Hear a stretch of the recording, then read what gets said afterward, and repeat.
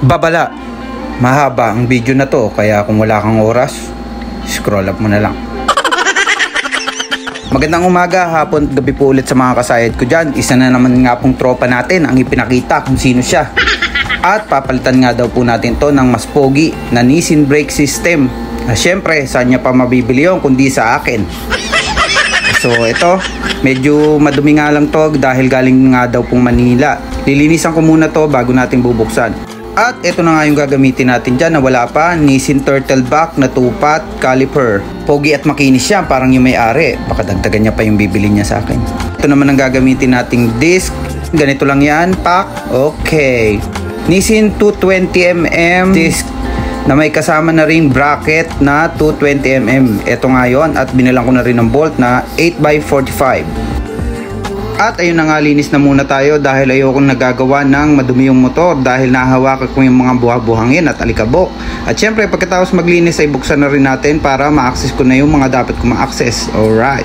Ito nga at nakita nyo naman nilinis ko na yung labas pero nasa loob pala lahat ng dumi. Ito yung linya ng kanyang brake system. Dito natin yung bubuksan mamaya at patutuluin yung brake fluid. So syempre may panahod tayo dyan para hindi magalit ang dragon dahil baka mapalayas tayo at hindi na tayo makapagawa dito. Alright. At magbukas na nga rin tayo at nang mapatuloy na natin yan at pinas forward ko na nga rin yan para hindi mo i-scroll up dahil napakamainipin mo. Ito nga at kitang kita nyo naman napakarami palang laman ng brake master na yan at mapakita ko na rin itong shock na to. Ito yung shock na aftermarket ng Mio M3. Ang problema niyan ay hindi yung katulad ng pang sporty at pang sporty nga tong bracket natin. Kaya banggayan dyan. At kaya nga ako gumawa kanina ng papel ay para masukat natin dyan at para makita natin kung gaano kalaki ang dapat nating tabasin. Pinag-usapan na namin yan ng may-ari at pumayag naman siya na tabasin na nga yung shock dahil ayaw niya naman din magpalit ng pang sporty at wala rin siyang makaswap. So yan na lang yung tatabasin namin kesa tabasin namin yung bracket. Baka kasi ibenta niya pa yan sa mga susunod na panahon. Dito nga ay nilagyan ko na nga rin yan ng marker at makikita nyo nga dito kung gaano kalaki yung matatabas dyan. Ayan. At alam na rin naman ng may-ari yan dahil nag-test fit na kami nung isang araw at nakita niya na kung gaano kalaki yung mawawala dyan. So informed naman siya kaya walang problema, tabas na tayo. Ito nga at kahit konti pa lang natatabas ko, yung fitting na ako para lang makita nyo dito sa video kung ano nga ba ang progress ng pinagagawa natin. So ayan, malayo pa ako doon sa marker, siguro mga 3 to 4 mm pa yan. Pero test fit na natin, ayan, kita nyo naman ang laki pa nung tatabasin para umabot yung tornilyuhan sa baba. So start ulit tayo ng tabas para maabot na natin yung doon sa may marker. At ito nga, One year later, natapos na rin natin ang pagtatabas at naging parang disyerto na dito sa labas. Alright, ito na po ang finished product ng ating pagtatabas. Lilinisin ko lang yan ng konti para hindi naman madumihan yung caliper at yung bracket na isusukat natin dyan kung sakto na nga ba. At ito na nga ang final fitting. Sana ay lumapat. Pero syempre alam ko nang lapat yan kasi voice over na lang naman to. Yan. Oh, kita nyo naman. Parang sinukat. Pero sinukat talaga. Pasok na pasok yan, walang alog yan. Kaya lapat na lapat yung bracket dyan. Di ko pa masyadong ginalingan yan. Kita nyo naman parang pinagtagpo ng tadhana yan at hindi hindi na maghihiwalay. At dahil tapos na nga rin tayo dito sa bracket, ay i-test fit na rin natin yung mismong caliper. Ito na nga yung gagamitin nating caliper. Nissin Turtleback 2-pot caliper. Mas pogi nga do doon kesa sa 4-pot. Pero siyempre, para sa akin lang naman yon At saka ako sinong nagtitinda, kaya sigurado mas pogi ito kaysa doon. Ayan, lapat na natin yan dyan. Tapos ilagay na nga rin natin yung screw. Ang sukat po ng screw ay 8x45 pag pang Mio ang bracket na gagamitin. Dahil kung maaalala nyo, doon sa click na ginawa ko last time ay 8x55 ang sukat ng bolts. At ayan, nailapat na nga natin. Sinigpitan ko na rin yan para makita ko talaga yung mismong lapat. At dito na nga tayo sa disc. Palitan na natin itong disc niya na 200mm na butas-butas na pangit kasi hindi niya sa amin binili. Joke lang po. JDM inspired kasi talaga yung gustong build ni boss kaya nagpalit na rin siya nitong Nissin 220mm disc na galing sa amin na pogi at mas maganda kaysa doon sa butas-butas. Alright. Higpitan na nga lang din natin to at ilapat na rin natin to sa motor para makita ko kung kamusta nga ba ang alignment nitong disc na to doon sa kanyang bracket. Ayan nga at mabilisang lapat lang para makita na natin kung gitna. At ito na nga moment of truth at Ay, nagiintay. Ayan na nga, oh, tingnan natin kung kamusta. Ayun, dikit na dikit sa kaliwa. At ang ibig sabihin nga niyan ay magtatabas na naman ako para mapagitna yung disc na yan. At this time, yung likod naman ng kabitan ng bracket sa shock ang tatabasin natin. Siguro mga 4mm ang tatabasin ko doon para mapagitna ko yan. So ito, bawas ulit tayo, tapos lang ng konti, tapos test fit, bawas ng konti, test fit. So ito, test fit na. Tingnan natin kung gumitna na nga ba yung buwisit na disc na yan. Okay, ayan, umawang lang siya ng konti sa kaliwa pero hindi pa siya gitnang gitna. So paikot check tayo para sigurado okay lang naman umikot yan dahil doon lang naman yan tatama sa mismong kinakain ng brake pad. Ayan, rinig na rinig nyo naman, galit pa yung disc at kailangan ulit nating magtabas dyan. So, ang goal ko rito ay yung nakausling part na yan, kung makikita nyo, ay tatabasin ko na ng todo para lumapat. Ito na yung last na tabas natin sa palagay ko. At alam ko na rin last yun dahil nga voice over lang to. Ayan, check nyo. Yan, hindi lang makita, napakahirap angguluhan ng camera. Ayan, hindi na siya nakadikit doon sa side na yon at dito rin. Paikot check. Alright, wala nang tunog. Isa pa, yung mas mabilis. Alright, wag nyo nang pansinin yung chinelas ko dahil luma na yan. Alright, okay na tayo dito. So, bleeding time. At eto na nga, dahil alam ko pinatgas na to ng panahon at mukhang hindi na nagalaw dahil kita naman sa itsura, lumagitik na yung isa. At dito nga tayo sa part na to. Ayan, ayan, piniwersa, umuwi ang muka, hanggang sa pumangit, ayan, ayun, at naramdaman ko na ngang umikot. At parang wala ng pag-asa. Ito nga, nilagyan ko pa yan ng WD-40 tapos nagpalit ako ng screw na mas matalim or yung mas malalim ang kagat. Ayan, pinwersa. Ayun, umikot din at mukhang wala na namang kainain. Ayan, umikot na, nasira na yung tornilyo.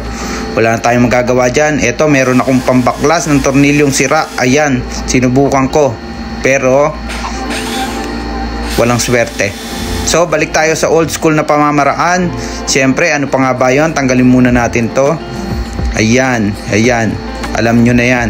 Maliit na negative yung ginamit ko dyan. Tapos, pinukpuk ko lang ng paside para umikot yung tornilyo at sinwerte naman at umikot naman siya. Ayan, tanggalin na natin.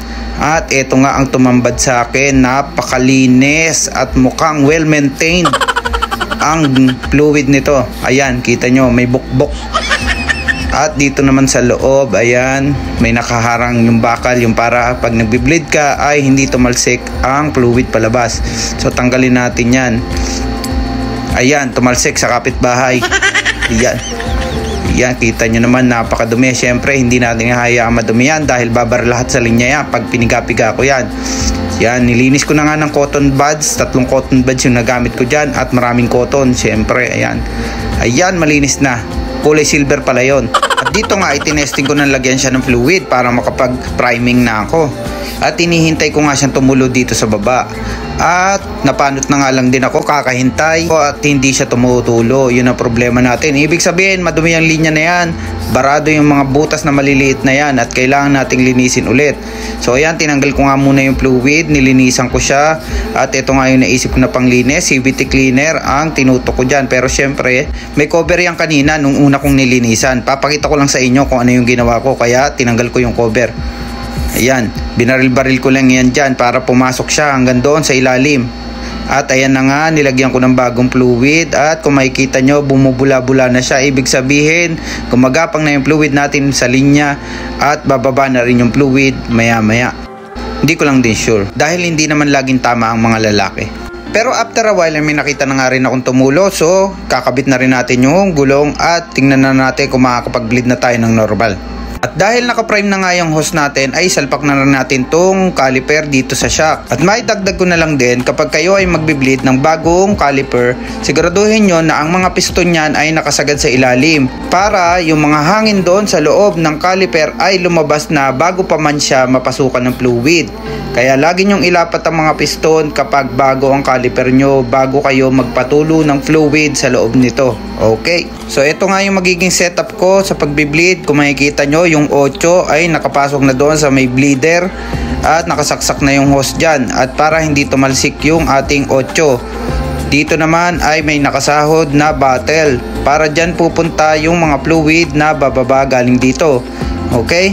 At dito nga ay pinigapiga ko na nga yung lever at kung makikita nyo bumubula-bula na yan. Ibig sabihin pumapasok na doon sa caliper natin ang mga fluid na yan dahil nagkakaroon na ng pressure sa loob ng linya. At wag nyo nga rin kalimutang ibalik to dyan sa brake master para kapag umipiga kayo ay hindi tatalsik ang fluid palabas. Kaya ko lang rin yan tinanggal ay para makita nyo sa video. So eto na tayo, bleeding time. Piga, stay, open, close, release, piga, stay, open, close, release, piga, stay, open, close. Ulitin mo lang yan ng 1,733 times at siguradong titigas na rin ang caliper mo, okay? At reminder ulit, wag na wag nyo nga hayaang maubusan ng fluid to dahil kapag naubusan ng fluid ang butas niyan, siguradong magkakaroon ulit ng hangin ang linya mo. At eto nga, paubos na. Pero napatigas ko na yung ating lever kaya ayan, makikita nyo naman, matigas na siya. Dadagdagan na lang din natin yan ng malinis na fluid at ito na nga yun. Huwag nyo pong sobrahan ng lagay, yung tama lang po na hindi tatama doon sa rubber at plastic na cover yung fluid at hindi siya apaw, okay? At nasira na nga rin natin yung tornilyo dyan kaya humanap ako dito sa aking baul ng mga tornilyo. At ayan nga yun. Dati marami yan pero syempre napanghingi na. Ito yung nakita ko na katulad ng tornilyo ng brake master. At ayan na nga lang yung gagamitin natin yung maliit. So kapit-kapit na lang tayo ng mga pinagbabaklas natin kanina para matry na rin natin kung gagana nga ba itong preno na to kapag umaandar na siya. Baka kasi hindi at maaksidente pa yung may-ari.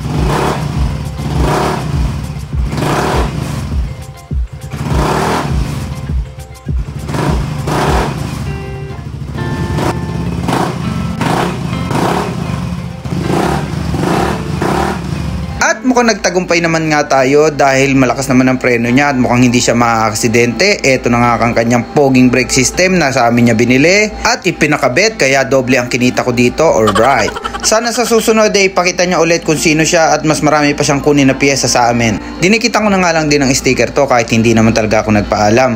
Para at least kung may magtanong kung saan siya bumili ng piyesa at nagpakabit eh baka sakaling ituro niya kami. Or pwede rin namang manood sila ng mga video ko para kumita ako kahit konti. So hanggang dito na lang po mga boss. Sana may nakuha kayong idea sa pinagagawa ko ngayon. Maraming salamat po sa mga nanood.